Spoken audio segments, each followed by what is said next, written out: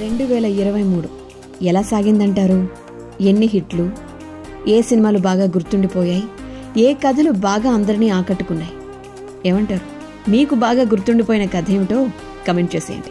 Mobile masala వారి film Nagar కబుర్లలోకి వెళ్ళిపోతే అగ్ర కథానాయకులు చాలా మంది సంవత్సరం వెండితెరపై కనిపించలేదని చెప్పుకోవాలి.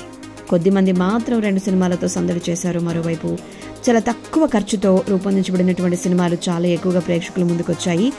రెండు వందల ముప్పైకి పైగా డైరెక్ట్ తెలుగు సినిమాలు ప్రొడ్యూస్ అయితే డెబ్బైకి పైగా డబ్బింగ్ సినిమాలు కూడా మన ముందుకు రావడం జరిగింది. మొత్తంగా మూడు వందలకు పైగా సినిమాలు ప్రేక్షకుల ముందుకు వచ్చాయి గత ఏడాది రెండు వందల ఎనభై ఏడు సినిమాలు.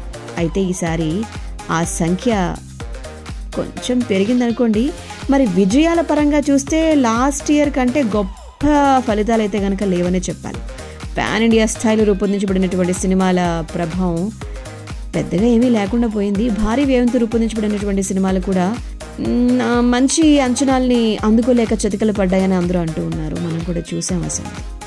చిన్న సినిమాలు పోటాపోటీగా వచ్చిన వాటిలో విజయాన్ని చవి చూసినవి కొన్ని.